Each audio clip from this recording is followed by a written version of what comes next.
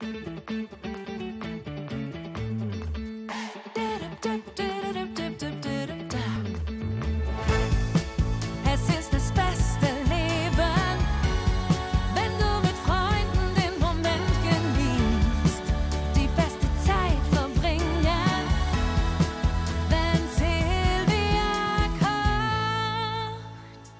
Herzlich willkommen zu Silvia Kocht. Schön, dass Sie wieder mit dabei sind. Und in der Woche sind wir kulinarisch im Burgenland unterwegs. Und da haben wir uns den Papst der Nose-to-Tail-Bewegung quasi geschnappt. Max Stiegel ist sein Name.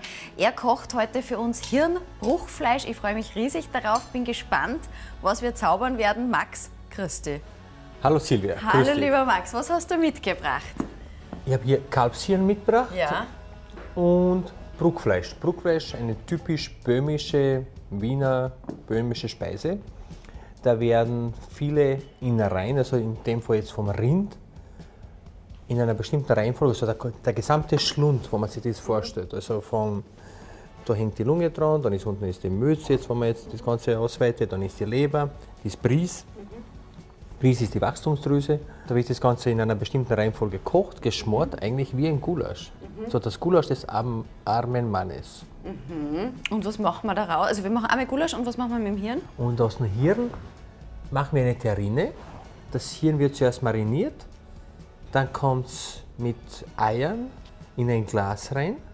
Das Glas wird zuvor mit Folie ausgelegt und dann wird es einfach pochiert. Ist eigentlich nichts anderes wie Omelette. Nur es sieht schön aus und lässt sich besser verkaufen. Also ich bin gespannt auf alle Fälle. Ich habe einmal in meinem Leben schon Hirn zubereiten dürfen. Die anderen Sachen sind mir, glaube ich, jetzt nur neu. Was darf ich tun? Na schau, wir haben jetzt hier mal das, das Bruchfleisch. Also das ist die, Was ist was? hast du schon mal seziert? Hm, Ja, habe ich tatsächlich sogar. So, das ist eine Lunge. Das ist die Lunge, weil da sieht man auch schön Genau. die Bläschen quasi noch. Genau. Da ein bisschen da die. Das ist das Kronfleisch. Was ist Kronfleisch? Ja, das Zwerchfell. Das Kronfleisch. Okay. Aha, da ist es so, was auseinandergeht beim Atmen. Das sieht man da von oben. Genau. Ja. Das Ganz ist der gut. Katalysator sozusagen. Da haben wir die Mütze, die Milz. Die kann man eigentlich so Schaben oder Milzschnitte machen hin und her. Nicht jeder mag die Milz im Bruckfleisch. Wir geben es rein. Ist, Mir ist es eigentlich wurscht, was die anderen wollen. Und die Leber noch. Und das dazwischen ist was? Das ist das Bries. Ah, das ist das Bries, Das die ist das Wachstum. Ja, aber das ist schön. Das ist ein schön großes Bries. Das ist Mhm. jetzt nicht das Mittelstück, sondern eher das untere unten. Und das schneiden wir jetzt alles in gleich große Stücke, so groß ungefähr. Macht das ich? Ja, natürlich. Gut. Ja. Und äh, ich werde in der Zwischenzeit schon das äh, Gemüse schälen, anschmoren, anbraten. Und dann werden wir das zubereiten. Muss ich da jetzt irgendwas speziell wissen zum äh, Schneiden? Oder ist das egal? Einfach. Naja, ich würde mal schneiden, die größeren Röhrl, falls welche drin sind, so wie das. Mhm. Die da kommen ich, raus? Genau, das würde ich rausschneiden, Okay. weil geht's? Ja. Ich habe nur, ich habe nur, was heißt, ich habe 100 Fragen an dich, weil du bist ja wirklich, ich habe eingangs gesagt, du bist der Papst der Nose-to-Tail-Verarbeitung. Das ist mir eingefallen, ich finde das jetzt großartig, dass ich mir das überlegt habe, weil du hast es dir zur Aufgabe gesetzt, den Menschen zu zeigen, dass man wirklich alles vom Tier verarbeiten kann und auch soll. Naja, es, es geht ja irgendwie um einen Respekt, weil es ist ja so, wenn, wenn schon ein ganzes Tier sterben muss, weil wir das wollen. wollen, dann soll man es auch zur Gänze verarbeiten. Warum? Nur weil Angebot und Nachfrage äh, da sind, heißt ja nicht, dass das Ganze sofort äh, weggeworfen werden muss. Warum ist ein, ein Ringerl oder ein Rüssel oder ich weiß nicht, äh, der Fuß weniger wert als, der, als, als das Karree oder irgendwas anderes? Das ist ja ein Tier. Und das ist nur diese Überheblichkeit, diese Arroganz, die wir Menschen besitzen oder besessen haben, wie auch immer jetzt. Was hast du da jetzt zusammengeladen? ich kriege ja die ich mariniere das Sachen hier. nicht mit. Ja? Da habe ich jetzt etwas Calvados, etwas Weinbrand reingeben, schaut, da wird das Ganze gesalzen, da kommt Traubenzucker rein wegen der Farbe. Man könnte auch Bröckelsalz nehmen, aber ich bin nicht so ein Freund des Salzes, des Bröckelsalzes. Warum? Ja, aber es ist irgendwie, keine Ahnung. Vielleicht stimmt es, aber ich, also ich mag es einfach nicht. Und, aber auf das Ding nochmal zurückzukommen. Es geht ja in Wirklichkeit um ein ganzes Lebewesen. Ich meine, wenn schon etwas sterben muss, damit wir es essen. Das ist ja nichts Böses. Es sind ja Nutztiere, die da sterben. Also es sind ja keine, aus unserer Sicht, Nutztiere. Äh, dann soll man es auch zur Gänze verarbeiten. Und da geht es wirklich um eine Wertschätzung, um einen Respekt, weil man kann bei einem Menschen auch nicht sagen, ich will nur einen Fuß und, äh, und keine Ahnung, dies, irgendwas an Ich nur die guten Eigenschaften. Ja, das geht ja auch nicht. Sechs. Ist ja meistens ein Gesamtpaket. Viel zu oft eine Mogelbalkon. So, jetzt schauen wir da. Eine Freundin von mir hat sich viermal scheiden lassen. Beim vierten Mal hat der Richter gesagt, Frau so und so. Und sie hat zu- zum Richter gesagt, also ich sage Ihnen eins, ich heirate nimmer. Ja. Und er hat zu ihr gesagt, sie ist 44, hat sich zum vierten Mal scheiden lassen. Ich sage Ihnen eins, nur, nur weil Sie noch viermal im Magen verrenken, hören Sie nicht zum Essen auf. Schau, das kann man jetzt so Wie aus. oft war dein Opa verheiratet? Siebenmal. Siebenmal. Ja. Wie viele Kinder? Na, viele, jetzt will ich da gar nicht mehr die Welt. Sehr viele Kinder. Aber es ist ja schön, oder? Der, aber er hat sich mehr als Opfer gesehen. Ach so, ne? das ist oft so, gell? Ja. Naja, das, war halt, das waren andere Zeiten. Ich werde jetzt mal die Eier aufschlagen. Und eins fällt mir da schon noch. Was fällt denn noch für ihn rein noch? Siehst du, wenn du einen Schlund hast? Was fehlt noch? Keine Ahnung, Blase. Na, sag mal. Nein, die Luftröhre. Als Lichtel. Das Lichtel fällt noch. Schau her. Ja, Das haben wir jetzt vergessen. Ich, ich schmeiße die Eier später raus. Das nur jetzt damit. passt passt. So, schau her. Und das ist jetzt so easy. Äh, reicht dir das oder mehr? Nein, das, naja, haben wir jetzt alles. Nein, Nein, das Ding nicht. fehlt noch, das Bries fehlt noch. Brie haben wir Aber noch schau jetzt mal, ganz kurz. Ja. Das ist, man nimmt jetzt äh, ein Ei, gibt das rein und dann kommt das Hirn rein. Schau. Das ist so easy. Ah, hast du jetzt nur, ist das wirklich nur, Ja, dieses Eier. verquirltes Ei und das war's. und das wird jetzt zugemacht. Da ist jetzt keine Gelatine oder irgendwas Nichts, drinnen. nichts, nichts. Schau her. Das wird jetzt zugemacht. Man kann einen Deckel draufgeben. Schau, das das ist sogar ein Deckel, das ist jetzt so zugemacht. Und das kommt jetzt dann ins Backrohr. Jetzt geben wir das nächste Hirn hier rein, weil das muss aber alles. So.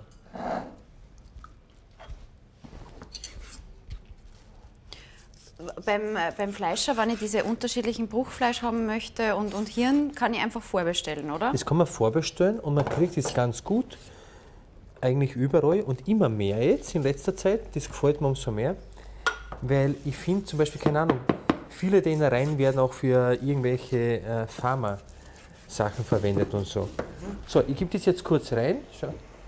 Ich lasse eine Stunde drin bei 100 Grad Dampf. Dampf, 100 Grad, Grad. eine Stunde. Ja, und dann soll es fertig sein. Diese Größe. Man kann aber eine Kaffeetasse genau stattdessen nehmen oder irgendeine andere schöne Form, je nachdem, wie man ausgestattet ist. So, okay, liebe Silvia, ich schneide mal das Gemüse. Ich würde ein sauberes Messer brauchen. Irgendwie ist meins verschwunden. Groß, klein? du? Nein, Ich nehme mal das Größere. Schau. Okay, äh, kannst du dich rüberstellen, das ein bisschen aufheizen? Butterschmalz rein. Ja, das ist Montessori. Du, du kannst das Rezept singen, aber nicht kochen. So, geht schon. Butterschmalz. Ja. Tanzt du gerne? Ja. Ich bin eine gute Tänzerin. Ja, das behaupten sie alle. Ich habe ich hab dich noch nie tanzen gesehen. Ja, da musst du ein bisschen öfter ORF schauen, weil da war, waren die Dancing Stars. Ich habe erst noch einen dritten Kind am Fernseher gekriegt. Wirklich. Ich habe mir doch dieses günstiger wie. Wie nur ein viertes Kind. Warst du bei den Dancing Stars? Wirklich? Na, gratuliere. Und wer war dein Partner? Der Danilo Campisi, der wunderbare Danilo, sensationelle Tänzer. Ja. Und der hatte kein Problem. Mit was? Na, mit den Tanzeinlagen. Also, Na, der ist ja Tänzer. also er ist der Tänzer. Er ist okay. der Tänzer, ich war quasi Der Promi dazu. der Promi dazu. Dreh ein bisschen zurück, bitte, die Flamme. Also so auf sieben oder? Ja, ich freue mich immer, wenn jemand tanzen kann. Kannst du nicht? Also ich probiere es immer wieder, aber es gibt so Sachen, wo ich mir denke, Als Slave musst du tanzen können. Ja. Als slawischer Mann kann man tanzen. ja, wir laufen oft im Kreis und tanzen so, aber so richtig, dass ich abshake irgendwo. Apropos, reden wir doch über den Sautanz. Ja. Das ist jetzt die perfekte Überleitung von deinen Tanzkenntnissen zu einem der tollsten Events im Burgenland. Was Ja. ist der Sautanz? Der Sautanz. Also früher hat man am Land immer, schau wie schön das ist. Warte nur ganz kurz, wir hatten irgendwo hier Lorbeer, zweierlei Lorbeer. Wir haben einen frischen Lorbeer, da vorne schon her. Frische Lorbeerblätter. Sensationell. Müssen wir ein bisschen einreißen. Weil die riechen so gut, riech mal. Aber das sind meine Finger, glaube ich, jetzt. Ja. Die muss ein bisschen einreißen, das ist super. Muskatnuss. Dann werden wir die Sautanz. Also früher hat man am Land immer das ganze Jahr über ein Schwein angefüttert und dieses in der kalten Jahreszeit angestochen und dann äh, dieses zur Gänze verarbeitet. Verarbeitet heißt Speck gemacht, Gramm hinauslassen, Blunzen gemacht und und und. Das hat aber ein bisschen was gemeinschaftliches, soziales auch mit sich gebracht. Also man hat sich da wirklich zusammengesetzt mit den Nachbarn und dann hat man sie einfach äh, und dann ist die Schwein zur Gänze verarbeitet worden. Also in der Früh hat es einmal für alle Helfer Hirn gegeben, Leber, Nierndl, da war ja nicht viel da. Dann ist einmal eine Blunzensuppe gemacht worden und, und, und äh, eine Blutsuppe. Schau, jetzt gebe ich das Kronfleisch hier rein. Kronfleisch zuerst, weil braucht am längsten. Ja, das braucht am längsten, ja. Schau jetzt das Majoran rein. Majoran, also was der Trüffel für einen Italiener ist, ist der Majoran für einen Burgenländer.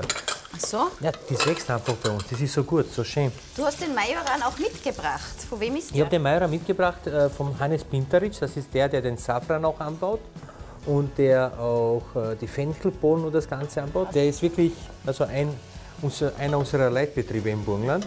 Aber der Sautanz ist wirklich so ein Fest geworden. Wir- Wir veranstalten den drei, vier Mal im Jahr. Ist immer ziemlich schnell ausgebucht. Menschen aus aller Welt kommen zu uns. Was ist das? Ein Mehl. bisschen Mehl, Stauben nennt man das, Hopfstauben. Und dann kommt der Schuss Essig rein. Aber das heißt, wie lange im Vorhinein ist das ausverkauft oder ausgebucht? Immer auf ein halbes Jahr voraus. Schau, etwas Essig rein, Apfelessig. Apfelessig und was ist das? Rotwein. Rotwein. So. Pass auf, das, das spritzt überall. So. Und jetzt lassen wir das ein bisschen kochen. Aber, aber den Sautanz sollte man mal gesehen haben. Wir werden oft gefragt, viele glauben, ich hätte das neu erfunden, aber das hat schon immer gegeben. Das ist ein Brauch, der, der schon immer gelebt wurde. Aber es ist schön zu sehen, wie wirklich aus 250 Kilo Schwein zum Schluss nichts mehr da ist, weil wirklich alles verarbeitet wird. Und worum es mir beim Essen oder beim äh, jetzt in der Reihen, weil wir gerade dabei sind, geht, es geht nicht um das, ob es einem schmeckt oder nicht, sondern man soll es probiert haben. Und das ist das Um und Auf. Was ist schlimm an einem Kuhalter? In der ganzen Welt gibt es das Berliner Schnitzel, das alte Schnitzel, ist ein Kuhalter-Schnitzel. Aber das ist, glaube ich, oft nur ein bisschen eine Kopfsache. Klar. Was tun wir als schon. nächstes rein? Naja, jetzt kommt die Lunge rein. Hm, Das war die Lunge. Ja, geht's? Lunge. So, das Bries. Das kann man gleichzeitig rein, das dauert alles. Und die Leber. Dann geben wir einen Thymian dazu. So, super. Geht's? So. Das sieht ja richtig gut aus. Das wird jetzt einkocht. Und deswegen verstehe ich auch oft die Preispolitik nicht, warum das weniger kostet irgendwohin, irgendwo in einem Wirtshaus oder irgendwo, als, äh, als, ein, äh, als ein Steak oder irgendwas anderes. Weil da ist Arbeit dahinter und die Arbeitszeit, die Arbeitskraft muss ja auch jemand bezahlen. Absolut. Was tun wir jetzt da noch dazu in die kommt Arbeitszeit? Einfach rein. Was Ja, ist das rein, Thymian, ja? Dieses Thymian, dann etwas Suppe rein. Wir haben übrigens die Rezepte für Sie zusammengefasst. Also falls Sie Lust haben, das nachzuempfinden, was Max Stiegel uns so schön erzählt hat, dann gibt es die äh, Rezepte auf der Teletext-Seite 356 in der ORF-Nachlese, auf extra.orf.at und auf tv.orf.at slash Silvia kocht sowas. Wie lange muss das jetzt köcheln? Eine gute Stunde. Natürlich, da ist der Max ein bisschen früher gekommen und hat da schon einmal die ganze Runde vorbereitet. Das sieht man da so schön. Mich, mich würde jetzt nur interessieren, diese Soße, die ich da habe. Ja, das ist ja das Gleiche. Aber wie kriege ich die Bindung, dass das Nein, die so kommt ist? ja durchs Mehl. Wir haben sie vorher abgestaubt. Und das, äh, nachdem sie das einreduziert Ja. hat, ist das da. Genau. Sollen wir das einmal verkosten? Ja, sehr gern. Aber da braucht man zuerst einmal Was brauchst einen Löffel. Oder Gabel. Ist es schon, ist es noch warm? Es ist noch warm, ich habe jetzt nur mehr Gas gegeben, ich mache gerne nur mehr Gas. Schau her. Vielleicht geben wir das in so eins. Ist das ein Es dauert ein bisschen, bis es Ding. Nur mal ganz kurz wegen dem Sautanz. Eine Frage habe ich. Man kommt zu dir und dann isst man quasi den ganzen, Den ganzen Tag. Das geht in aller Herrgottsfrüh los. Manchmal beginnen wir um 4 in der Früh, manchmal um 7. In der Früh hat man in der Früh abgestochen. Tag. Ja. Und da wird auch viel Schnaps getrunken, meistens bis zum Verlust der Muttersprache. Aber das ist ja das Schöne, da kommen Menschen aller möglichen sozialen Schichten durch. Ja. Ich voll Schnaps. Da kann man da rein, oder? Ich da ins Gulasch. Ja, aber schaden kannst du ja nicht, oder? Ja, no. Es geht in Wirklichkeit, es ist ein schönes Fest, wo gegessen, getrunken wird. Es spielen gute Bands immer. Wir haben sehr oft irgendwelche Roma-Bands oder regionale Bands oder irgendwas. Wir hatten auch alles Mögliche schon.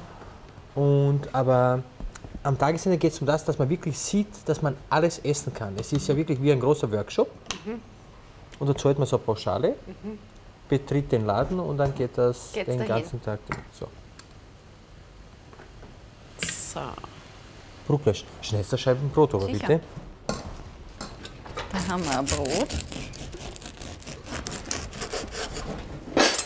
So, dann haben wir hier unser Bruckfleisch.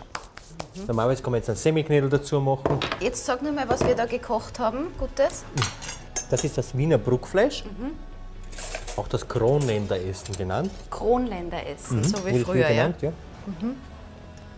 Das ist jetzt nichts anderes wie Gulasch aus den ganzen Innereien. Also, aber ich bin immer der Meinung, wenn, wenn man es gut zubereitet, dann ist es gut. Das ist ein Wahnsinn. Und ein paar Karotten sind auch drin, falls Vegetarier dabei sind. Meist ist gut. Aber ich frage mich oft, warum man sowas nicht öfters auf der Karte kriegt. Beuschel, oder? Ist doch. Beispiel kriegt man öfters, ja. Aber so ein Mix, das ist was. Mm. Hervorragend. Und mir ärgern ganz oft Leute, die dann behaupten, Innereien sind ungesund. Na, eine Pizza Wieso soll ein Innereien ungesund sein? wegen dem Cholesterin. Sagen viele, naja, zu viel Cholesterin, ein Hirn. Aber ich ja keine 5 Kilo Hirn. Ich esse ja nur eine Portion Aber davon. das ist doch jetzt gerade der Trend in die andere Richtung, dass alle machen sich diese Knochensuppen, die man schon seit 100 Die Jahren Bone macht, Broths, ja. Bone Broth, Broth, und sagen jetzt, das ist der neue Trend wegen ja, weil Cholesterin. 27 Euro kosten. Genau, Eben deswegen. total blöd. Um 3,50 geht es keinen Wert. Und jetzt haben wir vor lauter Reden äh, eine Sauce vergessen für das, fürs, fürs Hirn. Ähm, wir werden da schon was zusammenrennen. Warte, machen wir schnell eine Sauce. Ja, passt. Einen Schneebesen oder irgendwas. Schneebesen, klein oder groß? Auf die Größe kommt es ja nicht an. Naja, was willst du trotzdem haben? Was Besseres bitte? Ja, Siehst du? Essig Knoblauch. Essig, Knoblauch. Mhm. Knoblauch, Essig bringe ich dir. Danke. Weiß, rot. Bitte weiß, ja.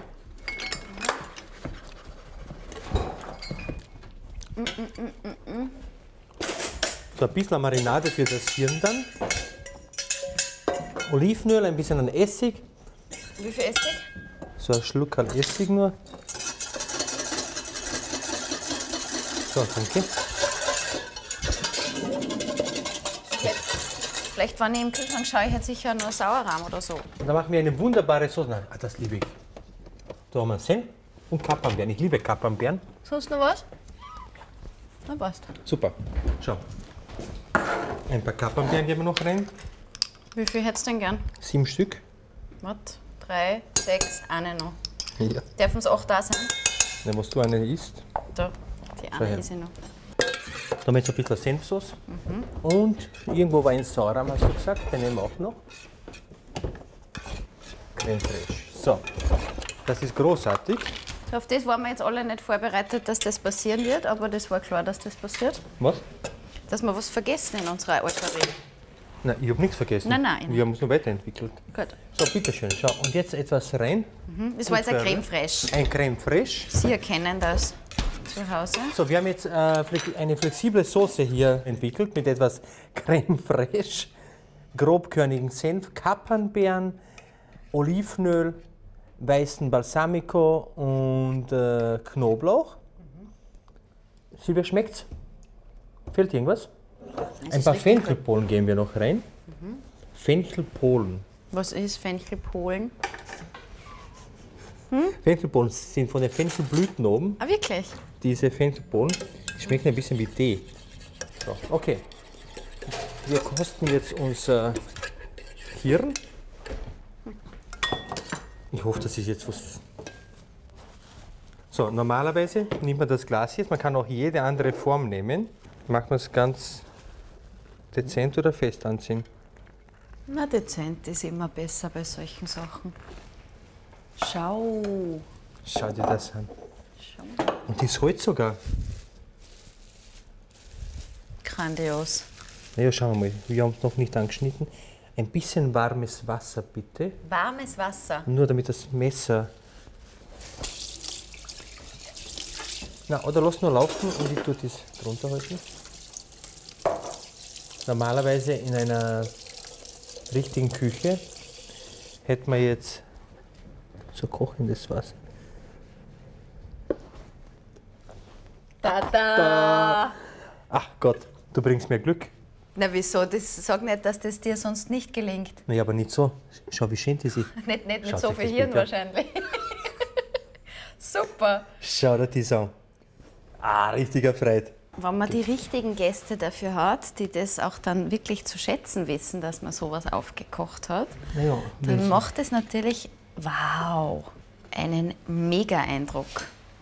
Schau, da hast du das Wasser. eh. Und so simpel kannst du mit dem Messer da dagegen halten.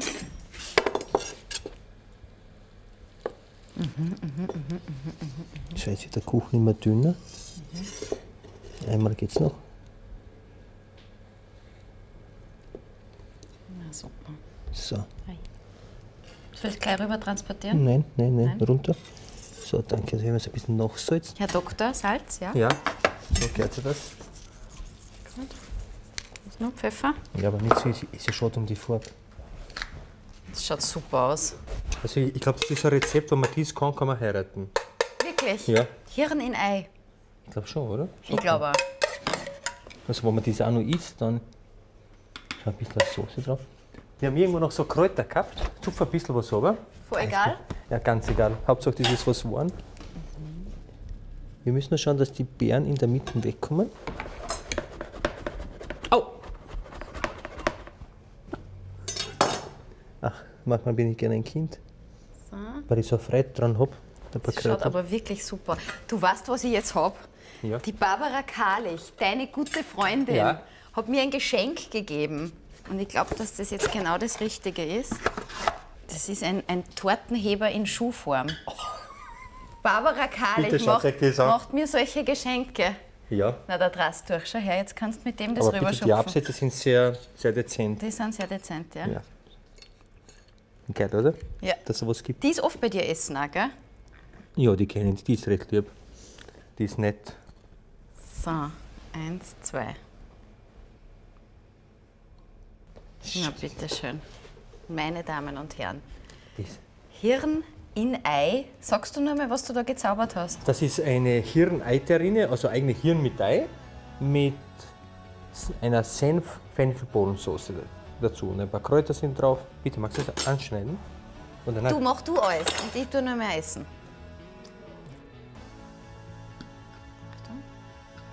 Bitte schön, greif zu. Das war die achte Kappe.